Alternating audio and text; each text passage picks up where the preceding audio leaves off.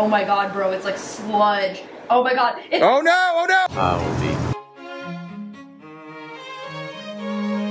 First time on the lift ever. Definitely not its last. Hi, I'm Cheyleesi and welcome back to my channel. I am here with my shovelhead. I can say that now. We are doing a basic check on it just to make sure that it has all of the fluids changed, just a peek at all the things that when you buy a new motorcycle, you should look at. Thankfully, it's in pretty good condition. I only bought it for $3,000. A lot needs to be done to it to make it the motorcycle that I want it to be, but as far as quality goes, I stole this motorcycle. Apparently, shovelheads take a very special kind of oil, not regular Harley oil, and even Harleys take a special kind of oil. So this takes a super special kind of oil. Not quite as much as I thought though, because I just have always put 50 weight in shovelheads. But Brian at the Ride Factory said since it has Delkron cases and it's got all this updated parts on it, it's got, I don't know if they're STD heads or S&S heads. We'll still put some 50 weight in it, but we'll mix that with 20W50. You know, with these new cases and some of the other stuff on this bike, it has been brought into the 21st century. Let's go ahead and look at a couple of key components on this bike. You have three separate oils. Are you fucking serious? Oil three. Yes, three separate oils on this bike. No. So dude. that's I know it's a lot to keep track of. You got to keep track of all of them. Things? You got to keep track of three of them. So you have the engine oil, which you see that chrome thing right there. You know that from your Sportster. That's where the engine oil is. On an original shovelhead, it would have an oil filter in that tank. This is an aftermarket tank. That's not what they would have come with, and it does not have an interior oil filter. So on this bike, there is actually, and it's a lot easier and a lot better. It does have an exterior oil filter, which you can see over here. Oh, it's dripping. A lot. Yeah, gas. It's a lot of gas. Yeah, we should probably turn the gas off. The floats are probably stuck. That's why it leaks gas like that. Yeah, it could be something else, but it's probably the float bowls just being stuck. We can pull it off and take a look at it later. This tank does have some rust in it, so it's not out of the question that some nasty stuff got in there and, and stuck a couple things open. That's your engine oil. You also have your transmission oil, which is kept in the transmission of all places. Okay, that makes sense. Does make sense. All right, let's go back to the other side for the third and final oil, which is your primary oil, which is kept in the primary, which is this guy right here. So this primary oil, it lubricates the clutch, lu- lubricates the primary chain. That has all the spinny discs in it, right? Exactly. So there's a gear on the end of the engine here that spins and it's connected with a chain to the clutch, which is right here. That's why they call it the primary chain. It's your primary drive chain. So that drives I the engine that. to this that you can release with the clutch, which then transfers it to the transmission, which is how you how you change gears, which the transmission then transmits that to the final drive chain. Bro, I'm stressed. Well, with the primary oil was just the start of the disaster of the Green Goblin. Going in there, I'm so scared. well, we're not going to pull it off. We're just going to drain it. There's just a drain plug on it. Okay, thank God. And the Sportster is actually a unit construction. That means that the engine oil and the transmission oil are all in the same place. Got it. So this is not a And unit construction. again? That's a unit I need a motorcycle. notepad. Bro. Yeah, this is a, what would unit motorcycle. a unit because it's all one big piece. It's all an one unit. Unit. That's a unit motorcycle too. You see how there's just one piece? The transmission, the primary, everything is inside that. This is completely separate from the engine. It's uh, connected by the chain, obviously. Divorced primary and a divorced transmission are very uncommon in modern motorcycles. Almost nobody does it. It's really uncommon, but you can see the engine block here, and you see where that connects right there. That's where the primary connects. Now let's go back over to the other side. We can look at where the transmission connects. And you can see in there that the transmission is separate from that and doesn't even touch the engine. You see, it's bolted in there, but the only thing that connects this transmission and that engine is your primary. And they do not share an oil. Here. So you see here, that'll this be your like literally on it. Yeah, that's on it. It's all part of it. You see that? That's part. That's the transmission. So if you look through there, you see how that's all one piece on the bottom. Yeah. That's where Yeah, your that makes a lot primary would be, and see that's where the pulley is. Yeah, that makes a lot of sense now. We'll go watch some videos later, and uh, maybe we can share some with the audience for people who are a little confused on this. I don't want anyone to feel bad, by the way. I'm always confused, and that's why I always ask for further explanation if I am confused, because I'm not gonna just sit there and be like, yeah, I understand. If I don't, I'm gonna be like, no, dude, that just sounded like a bunch of nonsense to me. Yeah, no, Start always from ask. the beginning. I don't even know what a primary is. Always ask, and it's not a bad thing to ask, and it's not bad to not know. You know, I learned all this stuff over years of working on motorcycles, and I was a mechanic, and for me, I look at it and it's kind of second nature. Whereas someone who doesn't just has never looked inside an engine or pulled it apart, there's no shame in not knowing how it works. And I think it's definitely like a dude thing, like where a dude's like, oh, I'm not gonna, I, I, I gotta know how much. It's like, dude, you don't have to know. Trust me. There's plenty of shit I don't know. I don't know shit about if I want to learn. We're gonna start by changing all the fluids. The Sportster was the f around bike. This is the find out bike. First things first, let's drain the engine oil. On this, it's really easy compared to some other bikes. It's just that plug right there. Go ahead and zip that out. There's a lot of things on this bike that were made for motorcycles to be able to work it on the side of the road. Even the inclusion of Allens. Well, there's a reason for that, and that's specifically a Harley thing, and Harley still uses them, and some other bikes do too, like that has Allen heads there. Yeah. But then you see your Kawasaki doesn't. A lot of a lot of modern bikes don't use Allen heads all over the bike like a Harley Davidson does. The reason for that is that you can pack the tools flat. Oh, that makes sense. So it's a lot easier to have a lot of different sizes of tools with you in a smaller space if they're Allens. I like bike. Yeah, and you know, normally Allens are made to turn already, so you don't have to have a socket. They have that bend in them, the hand Allens that uh, that are already ready to turn this. So a lot of it's designed to be able to work on it on the side of the road.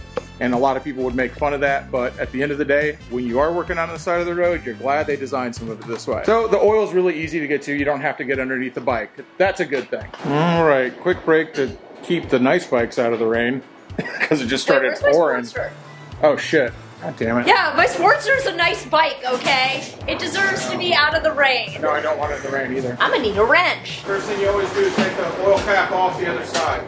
The other side. Yeah, where you, the fill cap. This one? Yes, take that off so it can actually drain, or else it won't drain properly. Right, the wrench. I need an even bigger wrench. The Okay. biggest wrench. Might even be bigger. Nope, that's it. Wow. Not feeling like it wants to move. So we have a breaker bar now. What? Yeah. You mean a PVC pipe? No, we have a real breaker bar now. Use the power. Wow, this is the power. Yeah, so you don't have to hold it underneath there. You're just gonna break it loose with that. You're not gonna take it all the way off. Yeah, keep it steady. There you go. Power. Yeah. All right, now you can take it off with whatever you want. With whatever I want. Whatever you want. Okay, not my fingers. With your teeth if you want. Let's try not to drop that drain plug into the oil. See what I'm doing? I put my thumb underneath it. See? It's a learning computer, a neural net processor. Oh my god, bro, it's like sludge. Oh my god, it's Oh no, oh no, oh no! Oh shit, shake, shake, shake. A little too thick for our funnel here. Harley oil is thick. Well, old Harley oil. New Harleys just take the same oils over motorcycles. Well, there's your first, uh, your first disaster. Is that a disaster? How many rags do you think that's gonna take to clean up? One good rag. One rag? You're on here. oh no, it's leaking on the floor now. Oh how? Where did it come from? Where's the holes? It's the one rag, huh? Now it's all under my tire. Oh no! Oh no! The lift is so lubricated. Why is it green? Because it's not old, so that tells us that the oil is not that old because it's not jet black.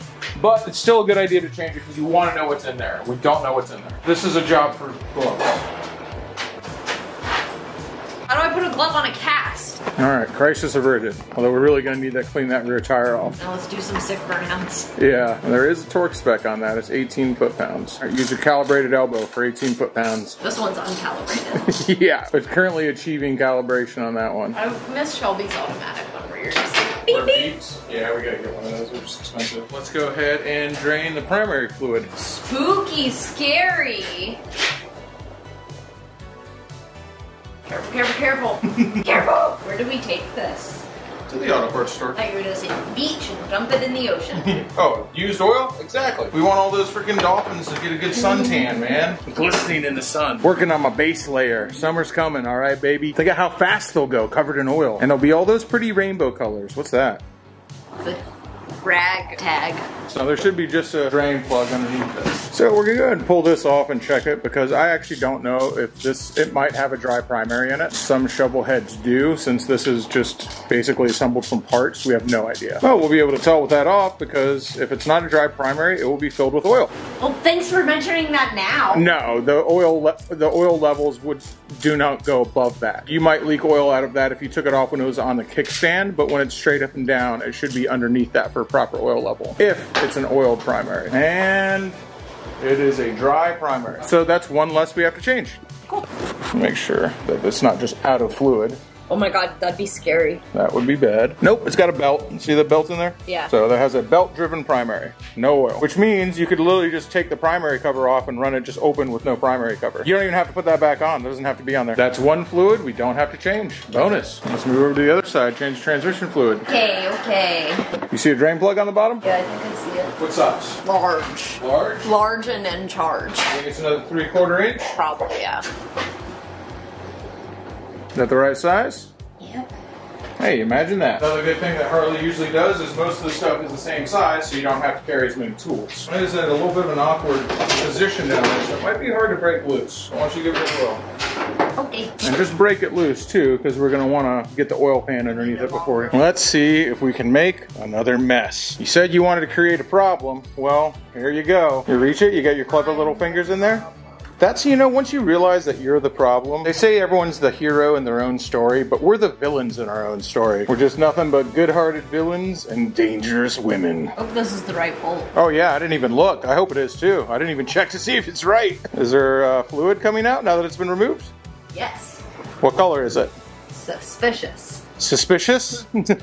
Is it red? Yellowish green? Well, let me look at it, make sure you didn't pull out an engine bolt and you actually pulled out the transmission bolt. I believe that's the transmission bolt though. And it's not covered in uh, metal flakes. That's a good thing. Further uncovering even more nice parts on this bike. you stole it. It's got a Crane electronic ignition on it. Now, some guys are just like points fanatics and they want them to have points, but personally, I'm an electronic ignition guy. Just provides a way hotter spark. Easier to kickstart, easier to start in general, just runs a lot better. But if they do go out, then you ain't fixing it on the side of the road like points. But you got a nice one in there. It's a nice Crane ignition. Like I said, S&S carb. So every part on this bike, it's got their, they're either STD or S&S heads. I'm not really sure. They're not Harley heads. And then of course it's got Delkron cases. So really when you imagine this bike, there's very few parts of this bike that are actually originally Harley. Like I imagine the transmission, primary cover, a couple things here and there. Other than that, I'm sure if it, it's got that Crane ignition on it, it's probably got a hot cam in it too. They were trying to give me a hard time saying I'm freaking telling you what to do in your vids. Wasn't here making sure you filmed when you're working on bikes. There wouldn't be no vid. You freaking just start doing it. You don't film anything. No, I forget. I'm the worst. I'm just so excited to do stuff. I'm just like, let's just do. Banned on Instagram. Ignition covers over here. Too hot for Instagram.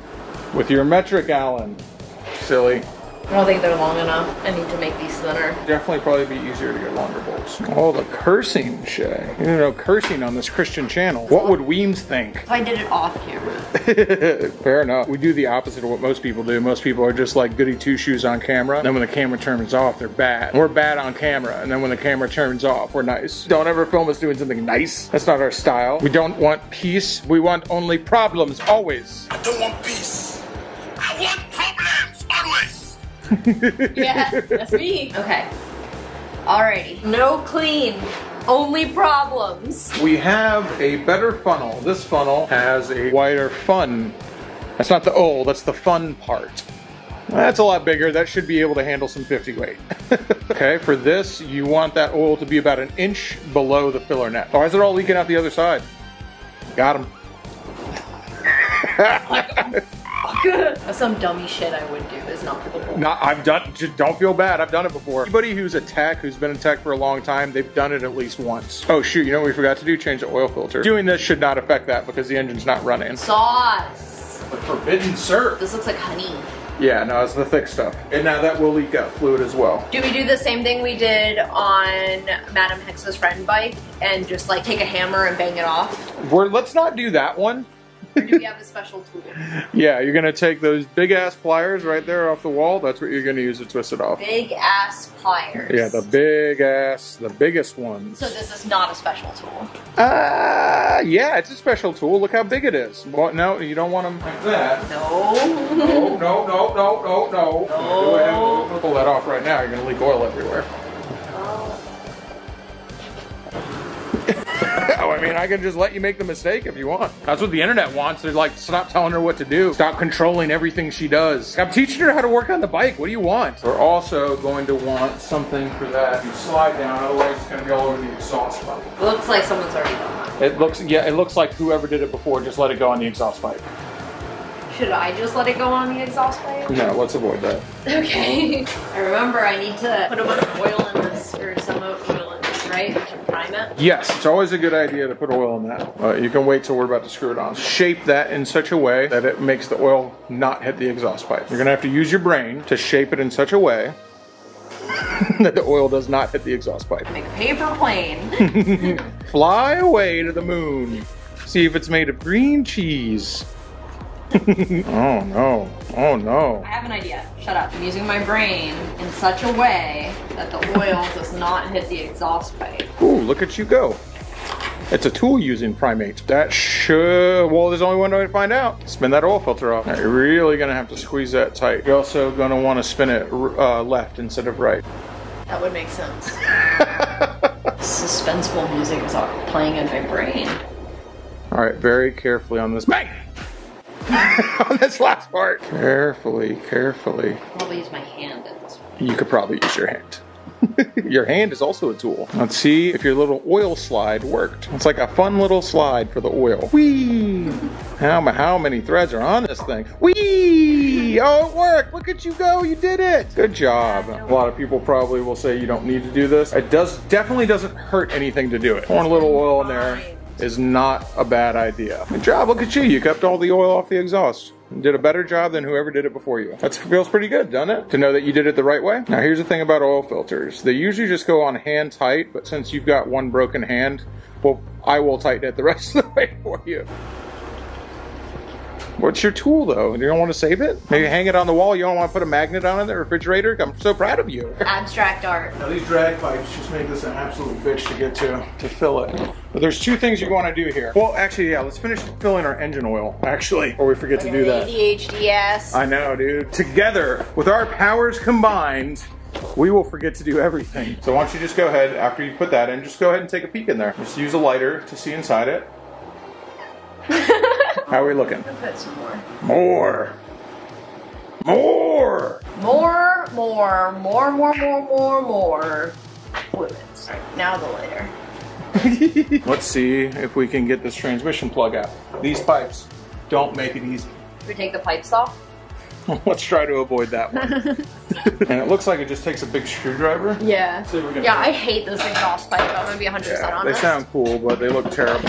Yeah, that won't actually come out. That's how dumb this exhaust pipe is. We're just gonna Because it won't be able to lift out. Yeah, can't screw out. We'll take this out, which is that's how you check it, and then we'll inject it in there with the uh, with the hypodermic needle. I'm like, it's not weird. This is really common. There's some things that just need to be filled this way, but we're gonna fill it. We're not gonna leave it. So normally you would pull this that out, and then you know it's full when you're filling it up top because it starts to leak out of that. Okay. That's how you know it's full. We can also put oil in there. We just have to have a small needle, like a, a hypodermic needle, and a little piece of tubing. There you go.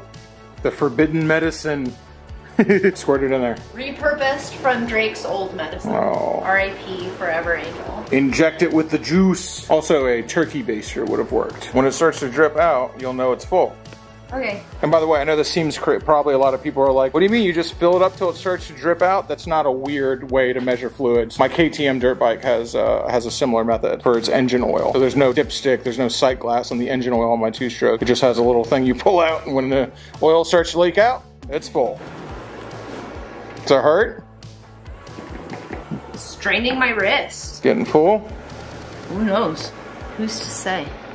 Not I. Do you want me to do the rest? I can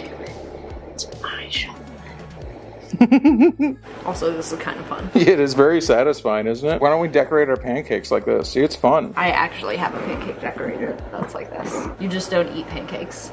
Oh, yeah, I don't. Another one, even. Hungry. Greedy, some would say. How much syrup does this thing want? Greedy guts. Save some for the pancakes. It's grenadine. Mmm, cherry flavored. Remember, always put cherry flavored juice inside your shovelhead transmission. now be very careful because you might get it confused with strawberry flavored juice. You don't want that. You want the cherry. Don't even get me started on the raspberry. They really need to differentiate these colors. You see, with like slushies, you get blue raspberry. When they have raspberry flavored juice for your bike, they really should make it blue so we can tell the difference. Watermelon flavor will do in a pinch. How many? No one knows. Take your medicine. More at once. Not the most efficient way to fill this up, but it is the way that's available to us. Sometimes you just gotta make do. More juice. This is gonna be the tastiest donut ever. All we need now is a little bit of powdered sugar. Are you sure this is how we do this? No, I'm not sure of anything. Oh, oh, oh, look at that, it's full. Now really what we should do, run the engine and then check everything again so the fluids can circulate. So here's another rule for shovelheads and any other rigid mounted Harley. Before you start it up when it's on the lift, you remove all your tools from the lift because it will vibrate them all onto the floor. so you don't want anything on here. Oh, here's something you've never had to do because all of your motorcycles have been belt drive. Never actually had to do chain maintenance because I usually oh. maintain your dirt bike. this is your first time. I So- know you don't. I did chain maintenance on my dirt bike. Did you? Yeah. All right, I don't remember. So, since this is uh, this doesn't have a center stand, it's much easier to do chain maintenance while it's up in the air. This chain probably hasn't been maintained by anybody, so this will be its first taste of chain lube. Very nice. Delicious. You don't want to spray it all over the wheel because this stuff is really sticky. So if you get it all over the wheel, it's just going to look like shit. The bike isn't very clean, so it wouldn't be the end of the world anyway. A lot of times what people do is hold a piece of cardboard. Okay. Now that that's in there, you can, well, you're to have to hold it. Aha. Ah, get closer to it. Like that? Yeah, hit it.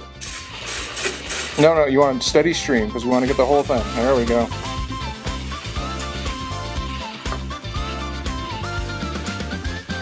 All right, that's probably even too much, but it doesn't matter. But it was fun. Yeah, there you go. It's fun. So what happens is, is this can like fling up. So you definitely want to wipe it off the sprocket where it's like dripping down and stuff like that, because it'll fling up onto you while you're riding the bike around. And chain lube is gross. Definitely don't want chain lube flying all over your back. And somebody's very nicely taken the chain guard off of this. Custom, even though it has a spot for a chain guard, it's got the freaking mounts it for it. I don't know. Some people think it looks cooler, and it can if your chain is like gold and really nice. But this chain is Yeah. shitty, so it's like why you would want a chain guard? Would hide your crappy rusty chain. Let it run for a little bit, and then we'll check all the fluids again.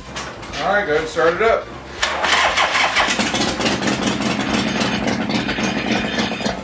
We don't have any leaks, which is a good thing. Now let's go ahead and check the oil again. How you check the oil is you undo that drain plug, and if oil comes out, then there's oil in there.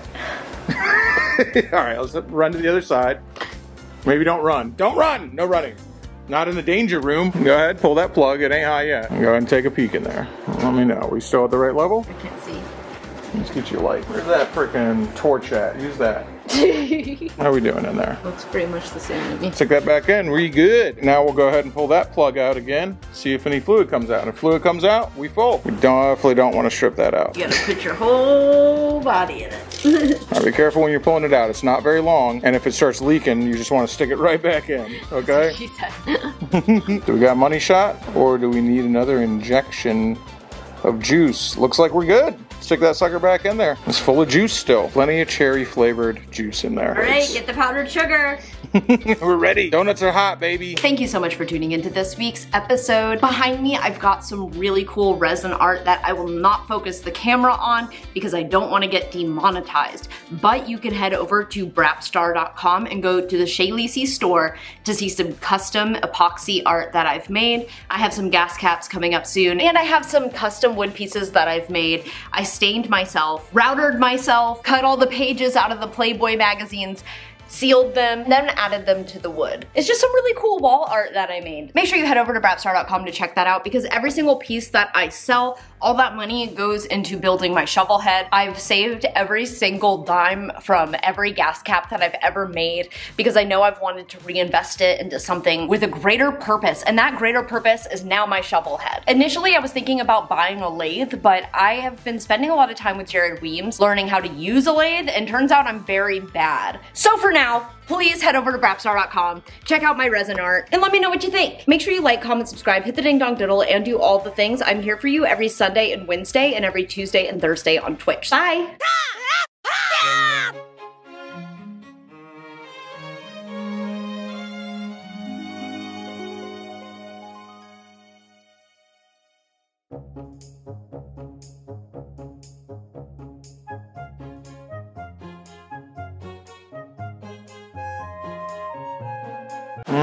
Quick break to keep the nice bikes out of the rain because it just started pouring.